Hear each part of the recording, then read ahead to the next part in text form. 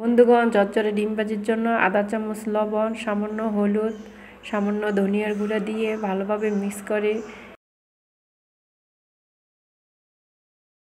ডিমটা ভেঙে দিয়ে দেব। ভালোভাবে নেড়ে ডিমটাকে একেবারে ঝরঝরা করে ফেলব। তো বন্ধুরা, আমার এই রেসিপিটা যদি ভালো লাগে, অবশ্যই লাইক আমার চ্যানেলটা সাবস্ক্রাইব করে রাখবেন।